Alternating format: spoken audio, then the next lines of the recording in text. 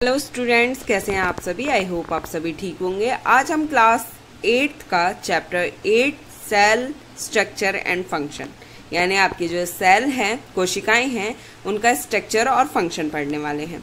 जो आपका ये चैप्टर है, इसके अंदर हम स्टार्ट करते हैं आपका पहला क्वेश्चन जिसके अंदर आपको क्या है? ट्रू फॉल्स करने हैं। तो ट्रू फॉल्स के अंदर जो फ़र्स्ट क्वेश्चन है आपका, वो है unicellular organism have one cell body जो आपका यूनिसेलुलर होता है ऑर्गन जो यूनिसेलुलर यानी सिंगल सेल जिनके अंदर होती है, वो वाले जो ऑर्गेनिज्म है, उनके अंदर ये क्या कह रहा है? One have one celled body एक ही सेल होती है उनकी बॉडी में तो ये बिल्कुल ट्रू है आपका। नेक्स्ट ये कह रहा है मसल्स सेल्स आर ब्रांच तो ये कह रहा है कि आपके जो मसल सेल होती है, यानी आपके जो बाजुओं की मसल्स बाजू की या बॉडी में जहाँ भी मसल्स हैं, वो जो सेल होती हैं, क्या वो ब्रांच होती हैं? तो नहीं। आपकी जो मसल सेल्स होती हैं, वो ब्रांच नहीं होती, वो अलग अलग होती हैं। तो इसीलिए ये आपका जो आंसर हो जाएगा इसका, वो फॉल्स हो जाएगा। नेक्स्ट ये कह रहा है, the basic living unit of an organism is an organ. क्या किसी जीवित जीव के जो ऑर्गेनिज्म है, उसकी जो यूनिट होती है, बेसिक यूनिट, क्या वो ऑर्गन होती है। तो आप सभी ने बहुत अच्छे से चैप्टर में पढ़ा है कि बेसिक यूनिट क्या होती है? किसी भी लिविंग बींग की सेल होती है। तो यहाँ पर इसका आंसर फॉल्स हो जाएगा। तो नेक्स्ट है आपका अमीबा हैज़ इरेगुलर शेप तो बिल्कुल अमीबा की कोई शेप नहीं होती, वो किसी भी शेप में आपको मिल सकता है। तो ये आपका आंसर ट्रू हो गया है। नेक्स्ट है आपका make a sketch of the human nervous system आपको ह्यूमन का जो नर्वस सॉरी नर्वस सेल है, उसका स्ट्रक्चर बनाना है। What function do nervous cells perform तो आपका जो नर्वस सेल है मतलब आपका जो नर्वस सेल है, वो क्या काम करता है? ये भी इन्होंने पूछा है। तो सबसे पहले नर्वस सेल का डायग्राम देख लेते हैं। तो ये है आपका नर्वस सेल का डायग्राम इसको आपको बनाना है। इसके अंदर जो पार्ट्स हैं आपको, वो वो बताने हैं, जैसे कि यहाँ पर आप मिड के अंदर, जो ब्लू कलर में दिख रहा है, वो न्यूक्लियस है। फिर सेल बॉडी आपको दिख रही है, जिसे सोमा बोला गया है। फिर डेनरेन है, और उसके बाद लास्ट में एक्सोन है। ये बीच वाले नाम को आप स्किप कर सकते हैं। नेक्स्ट आपका जो है, वो है फ़ंक्शन ऑफ़ नर्वस सेल। आपके जो नर्वस सेल है, उसका काम क्या होता है? तो the nervous cell take message from sense organs.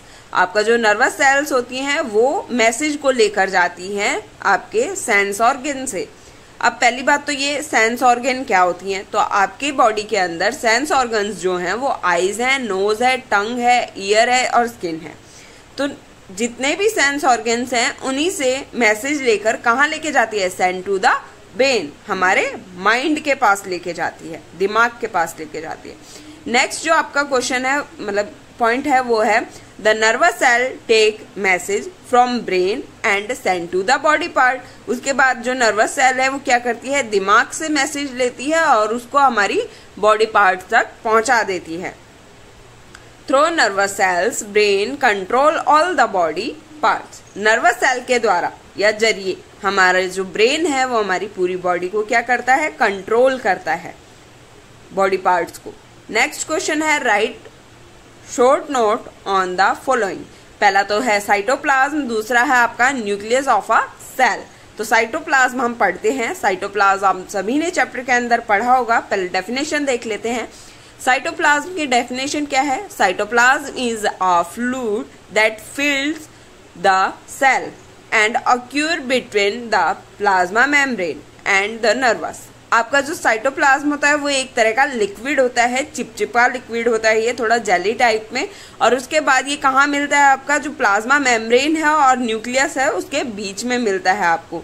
Next है आपका इसमें cell organ such as mitochondria ribosome Golgi body etcetera जितने भी आपके, ठीक है, वो सभी कहाँ मिलते हैं आपके? Are suspended in the cytoplasm वो सभी कहाँ मिलेंगे आपके? साइटोप्लाज्म के अंदर मिलेंगे। मीन्स प्लाज्मा मेम्ब्रेन और न्यूक्लियर जो है, उसके बीच में आपका साइटोप्लाज्म लिक्विड ही जेली टाइप में एक लिक्विड फ्लूड होता है, जो भरा होता है। उस लिक्विड फ्लूड के अंदर आपका माइट्रोकॉन्डिया राइजो राइबोसोम और गोल्जी बॉडी इसके अलावा अलावा बहुत सारी चीज़ें आपकी जो होती हैं, वो फिल होती हैं। जितने भी आपके यहाँ पर ऑर्गन्स मौजूद हैं।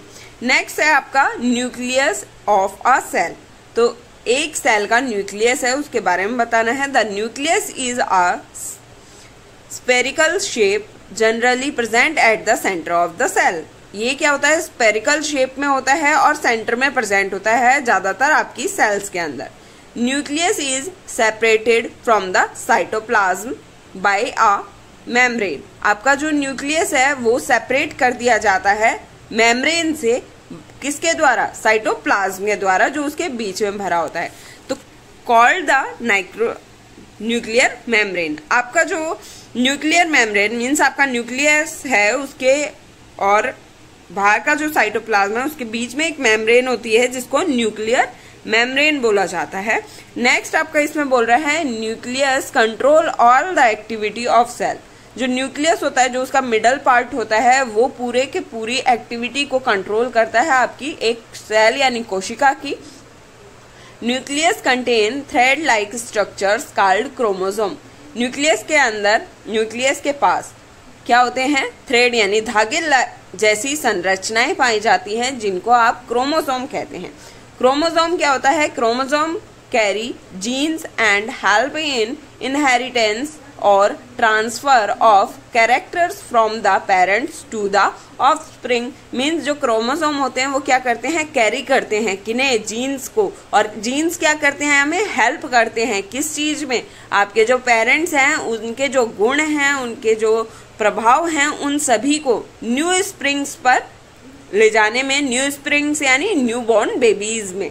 ठीक है? तो आपके जो पेरेंट्स के गुण हैं, उनको एक नवजात बच्चे के अंदर लेके जाते हैं कौन? क्रोमोजोम नेक्स्ट क्वेश्चन है आपका question number four which part of the cell contain organelles तो आपका जो कौन सा पार्ट है जो ऑर्गन्स लेता है मतलब कंटेन करता है, जिसके अंदर होते हैं तो वो साइटोप्लाज्म है. कौन कौन से ऑर्गन्स कंटेन करता है? वो माइट्रोकॉन्डिया हो गया राइबोसोम हो गया, और बहुत सारे ऐसे हैं. गोल्जी बॉडी हो गया, या फिर आप उसके अंदर एंडोप्लाज्मिक रेटिकुलम है, बहुत सारी चीज़ें आपको वहाँ मिल जाएँगी। नेक्स्ट है make sketch of animal cell and plant cell और उसके बाद आपको state three different between them इनके बीच में तीन डिफरेंट बताने हैं और इनके स्ट्रक्चर को आपको पढ़ना है। तो पहले हम पढ़ लेते हैं इनके डिफरेंस तो एनिमल सेल और प्लांट सेल के डिफरेंस मैंने यहाँ आप लोगों को बताए हुए हैं. जैसे कि आपको दिख रहा है cell wall is absent in animal cells तो सेल वॉल क्या होता है बच्चों? जो आपका सेल है सेल के बाहर एक सेल मेम्ब्रेन होता है और सेल मेम्ब्रेन की आउटर जो लेयर होती है उसको सेल वॉल कहा जाता है। तो एनिमल्स में सेल वॉल प्रेजेंट नहीं होती, बल्कि प्लांट्स में होती है। जो आपको पेड़ के बाहर खुरदरा पार्ट दिखाई देता है, वो आपका होता है सेल वॉल। तो सेल वॉल सिर्फ़ प्लांट सेल में प्रेजेंट होती है और एनिमल सेल में वो अबसेंट होती है। नेक्स्ट डिफरेंस क्या है? Plastid are absent in animal cells and plastid are present in plant cell plastid जो होता है, वो आपके जो प्लांट सेल होता है, उसके अंदर होते हैं, लेकिन एनिमल सेल्स में नहीं होते। अब प्लास्टिड का काम क्या है भाई? प्लास्टिड का काम होता है प्लांट्स को कलर देना मतलब ग्रीन कलर होना और वो अलग अलग जो कलर होते हैं प्लांट्स के, वो प्लास्टिड की वजह से होते हैं। तो आपको पता है, जानवरों में तो ऐसा नहीं होता। कि हरा कलर होगा या कोई कलर होगा, और ना ही वो फोटोसिंथेसिस करते हैं तो फोटोसिंथेसिस के लिए प्लास्टिड की ज़रूरत पड़ती है, जो कि प्लांट्स में ही होगा। नेक्स्ट है an animal cell has usually no vacuole only some animal cells have small vacuoles जो वैक्यूम्स होते हैं आपके, जिसके अंदर खाना पचाता है आपका अमीबा तो वही बात हो रही है कि जो एनिमल सेल्स हैं, उनके अंदर वैक्यूम्स नहीं होते, जबकि प्लांट सेल के अंदर एक लार्ज वैक्यूम होता है, बहुत बड़ा। ये आप स्ट्रक्चर को देखकर समझ जाओगे। आप यहाँ पर जैसे कि स्ट्रक्चर देख पा रहे हो, ये जिसके अंदर बहुत बड़ा वैक्यूम है, ये आपका ए वाला प्लांट सेल है एंड बी वाला आपका जो है एनिमल सेल है। आप यहाँ देख पा रहे हो कि बाहर की जो लाइन आपको दिखाई दे रही है, वो है सेल मेम्ब्रेन लेकिन जो आउटर मोस्ट है, वो सेल वॉल है आपकी प्लांट सेल के अंदर। बीच में यहाँ वैक्यूम्स आपको दिखाई दे रहे हैं न्यूक्लियस आपको दिखाई दे रहा है कि जो एनिमल सेल है उसके अंदर सेंटर में है, जबकि प्लांट सेल में वो एक साइड में है। फिर आपका जो ये लिक्विड है, ये है आपका साइटोप्लाज्म और आपका जो प्लांट सेल है उसके अंदर क्लोरोप्लास्ट भी आपको मिलता है। जो ये ग्रीन ग्रीन पिगमेंट आपको दिख रहे हैं, ये आपके हैं क्लोरोप्लास्ट तो आई होप कि ये डायग्राम आपको समझ में आ गया होगा और बहुत इजी डायग्राम ये आपके लिए है। नेक्स्ट आपका जो क्वेश्चन है, वो है state the difference between eukaryotic and prokaryotic cell आपको यूकैरियोटिक एंड प्रोकैरियोटिक सेल्स के अंदर डिफरेंस बताना है, यानी अंतर बताना है तो प्रोकैरियोटिक सेल्स कौन सी होती हैं वो देख लेते हैं. The cells having nucleus material without nuclear membrane मतलब ऐसे जीव या ऐसे सेल जिनके अंदर जो न्यूक्लियस मटेरियल होता है, वो बिना न्यूक्लियर मेम्ब्रेन के होगा. मतलब जो उनका न्यूक्लियर होगा उसके ऊपर कोई न्यूक्लियर मेम्ब्रेन ही नहीं होगी। उन्हें कहते हैं prokaryotic cells the organism which these kind of cells are called prokaryotic cell मतलब जिसके न्यूक्लियस पे कोई कवरिंग नहीं है, कोई मेम्ब्रेन नहीं है, वो आपकी क्या होंगी? न्यूक्लियस मेम्ब्रेन होंगी। ठीक है? सॉरी प्रोकैरियोटिक सेल्स होंगी। और इसके एग्ज़ाम्पल हैं आपके bacteria and blue green algae बात करते हैं यूकैरियोटिक सेल की। यूकैरियोटिक सेल्स वो होती हैं जिन the cells having well organized nucleus with a nuclear membrane are called eukaryotic cells. आपके जो यूकैरियोटिक सेल्स होती हैं, उनके अंदर जो न्यूक्लियस होता है वेल well डिफाइन होता है और उनके बाहर एक कवरिंग होती है जिसे आप न्यूक्लियस मेम्ब्रेन कहेंगे। The organism with these kind of cells are called eukaryotic cells या यूकैरियोट्स कहेंगे उनको तो इसके अंदर आप अपने आप को रख सकते हैं। एनिमल्स इसके अंदर आते हैं, प्लांट्स इसके अंदर आते हैं। तो all other organism that there than bacteria and blue green algae बाकी सारे ही यूकैरियोटिक हैं। मतलब बैक्टीरिया और ब्लू ग्रीन एल्गी को छोड़कर बाकी जितने बच गए, वो सभी आपके क्या हैं? यूकैरियोटिक सेल्स हैं। Plant animal fungi amoeba etcetera इंसान सभी इसमें आ गए। नेक्स्ट आपका सेवंथ क्वेश्चन है, जो कि है where are chromosome found in a cell जो क्रोमोजोम है, वो कहाँ मिलता है? स्टेट देयर फ़ंक्शन और इसका जो काम है, वो भी बताना है। तो जो आपका क्रोमोजोम है, अभी आपने ऊपर पढ़ा कि क्रोमोजोम क्या होता है? एक थ्रेड लाइट स्ट्रक्चर होता है। तो उसी के बारे में बात करना है। Chromosome are found in nucleus of the cell जो क्रोमोजोम होते हैं, वो मिलते हैं हमारे जो न्यूक्लियस होता है सेल का, उसके पास।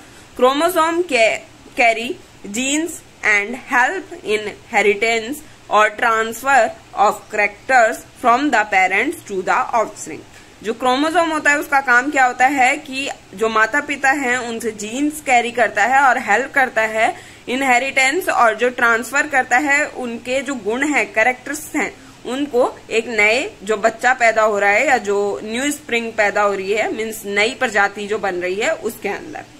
नेक्स्ट क्वेश्चन है आपका cells are the basic structure unit of life living organism explain इस स्टेटमेंट को एक्सप्लेन करना है कि जो सेल है वो बेसिक स्ट्रक्चर है यूनिट का लिविंग ऑर्गेनिज्म के अंदर. तो इसको एक्सप्लेन कैसे करेंगे आप? Different cells combined to form tissues अलग अलग सेल से आपका एक टिश्यू बनता है. Tissue combined to form organism और टिश्यू के मिलने से आपका एक ऑर्गन बनता है. Similarly organ combined to form a body और जितने ज़्यादा ऑर्गन एक साथ मिलेंगे, वो एक बॉडी बनाएगा। Therefore cells are called the basic unit या basic structure unit of every living organ आपको पता है क्या हो रहा है? सेल से टिश्यू बन रहा है टिश्यू से ऑर्गन बन रहा है और ऑर्गन से बॉडी बन रही है। तो सबसे मेन चीज़ क्या हुई? सेल हुई। तो इसीलिए इसे बेसिक स्ट्रक्चर यानी नींव कहा जाता है किसी भी बॉडी का सेल को। नेक्स्ट क्वेश्चन है आपका explain why chloroplast are found only in plant cells जो क्लोरोप्लास्ट होता है, वो सिर्फ़ प्लांट सेल में क्यों मिलता है? भाई क्लोरोप्लास्ट होता है ग्रीन कलर का लवण मतलब ग्रीन हरित प्लांट के अंदर पाए जाते हैं ग्रीन लवक, उसको बोला जाता है। तो क्लोरोप्लास्ट कैरी क्लोरोफिल जो कि एक हरा लिक्विड होता है विच सिंथेसाइज फ़ूड जो कि क्या करता है? खाने को पचाता है। इन बनाता है या पचाता है, दोनों ही चीज़ बोल सकते हो।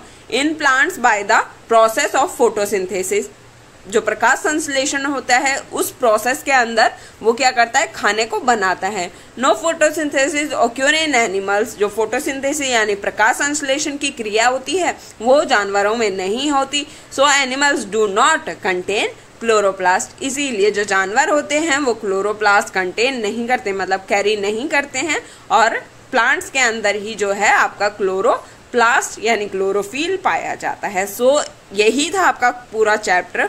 आई होप कि आपको क्वेश्चन आंसर बहुत अच्छे से समझ में आ गए होंगे चैप्टर बहुत अच्छे से समझ में आ गए होंगे। So please do like share and subscribe my channel take care have a great day